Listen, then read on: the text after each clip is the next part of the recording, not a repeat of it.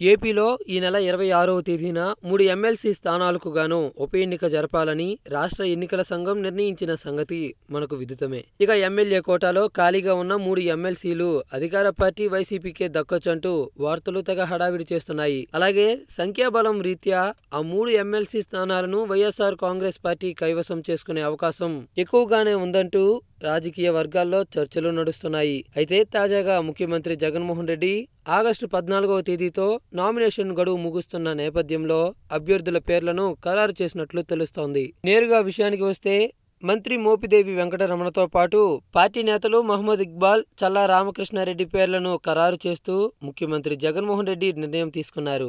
ఈ రోజు సాయంత్రం ఈ విషయంపై అధికారిక ప్రకటన వచ్చే అవకాశం ఉంది.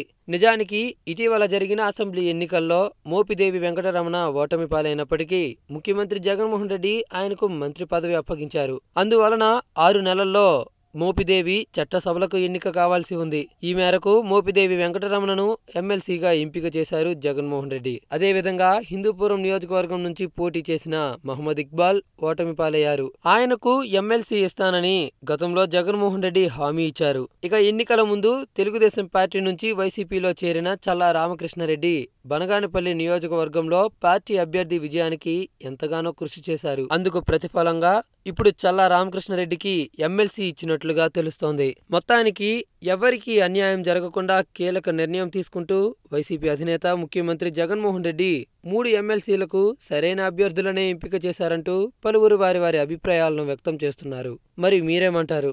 ముఖ్యమంత్రి జగన్మోహన్ రెడ్డి ఎంపిక చేసిన అభ్యర్థుల విషయంపై మీ యొక్క అమూల్యమైన అభిప్రాయాన్ని కామెంట్ ద్వారా తెలియజేయండి. ఈ వీడియోను అందరికీ రీచ్ అయ్యేలా షేర్ చేయండి. ఇలాంటి మరిన్ని సరికొత్త రాజకీయ సమాచారాలను ఎప్పటికప్పుడు మీకు అందించే మా ఎస్క్యూబ్ హంగమా ఛానల్ను సబ్స్క్రైబ్ చేయడం మర్చిపోకండి.